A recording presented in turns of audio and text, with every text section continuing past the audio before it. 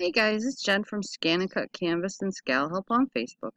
Had a member question about the uh, Type on Path tool and how to resize it when it's possibly already typed up. Okay, and there's actually a really easy way to do this instead of uh, getting another circle and having to redo it. And I want to show you.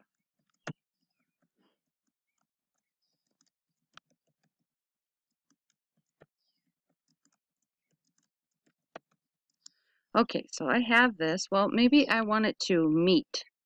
I want it to meet right here. Well, how can I do that? Well, I have to retype it, right? I have to get a smaller circle. No, not necessarily.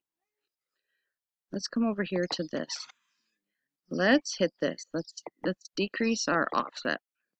Oops, I forgot. I have to highlight it all.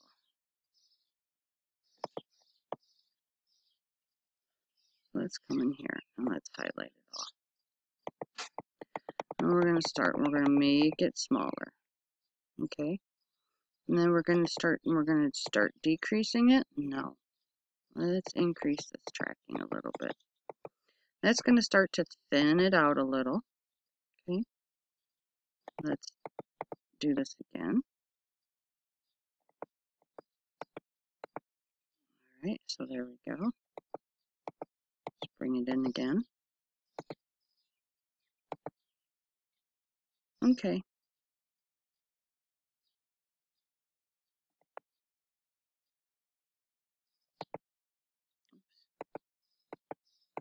Maybe pull it out just a wee bit.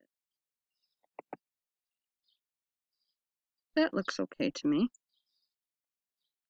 All right. Now, so there it is. There it's all typed out. If I do not want to go fetch me another circle and try to type, try to figure out what size of circle I need so that it all meets, okay? So it's just using the offset and the tracking. And sure, you can come in, you can adjust the size of your letters if you want, but then, because you'll see they'll start to squish together, you'll have to come in and start adjusting your tracking and your offset in the other way, okay? So just know that that will mess with those numbers. Let me put this back to where it was. Okay. So that's how you're going to go about doing that. If you have any further questions, you can come and find me over at uh, ScanNCut Canvas and SCAL Help on Facebook. All right, guys? Thanks. And something really quick. If you come up here to get rid of this circle, if you come up here and you do break apart, that's really going to throw a monkey wrench in it, okay? If your letters touch, okay? So like here, my E touches just a tiny bit. If that is the case, what I need to do is I need to come in here, highlight just the E, go to Object, merge just that E back together, okay?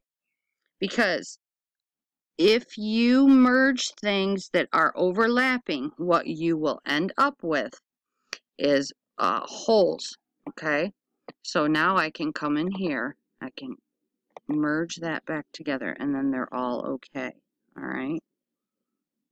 But if you have any that overlap, do not do a full merge. Go in and merge them together separately, okay? Let's take a look here.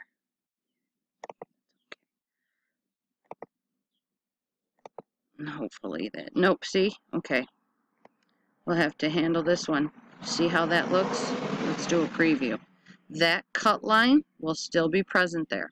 So this is one where you do not want to do that. So let me show you how to get rid of this circle. Let me take this back down to 35. Okay, so what we got to do is we have to come in here to object. You have to hit your break apart, okay? Well, that does this funky stuff with these letters. What you need to do to any letter that touches, pull it out, okay? You're going to object, merge that. Leave it sit right where it is. Come in, highlight just this. Do not catch the letters that are separately highlighted there, okay? Object, merge, okay? So now I'm going to pull this back in, put it right where it was, snugged up and overlapping that L okay? Now I'm going to highlight everything else, path, union, okay? And that will join it perfectly. You see now? So that that cut line is not going to cut into there, but everything else is just fine where it lays, all right? This is when uh, understanding what merge versus union does. Um, when you have letters that, um, let me try and get the regular text tool. Let's type here. We'll just do an H and then an I. And let's put these, uh, that's a bad choice. An H, we'll just do H and an E. Let's put these together because I want to show you what the merge versus the union does. Okay, so those are laying over top of each other. Let's do the object merge because I just want you to see. Okay, see what that did? blow it up here for you. Let me move this guy out of the way. Let me blow this up for you. This is what merge does to letters. Do you see that? Okay, so let's check our preview. Those are cut lines. So that's what will be cut. That's what it looks like. Okay, it's never a good thing. Okay, let's type that out again. So let's do an H then an E. Let's put it together. And then we are going to union this. Oops. Snap up there. Okay. So let's blow this up. And I'm doing this because when you do that, what I just showed you, I want you to understand why you have to pull some of them apart. Pull them out and then do it, okay? So this is what the union does. It melts it all together. Okay, so that is what the union does. It melts it together. The merge destroys it. It does not give you what you want.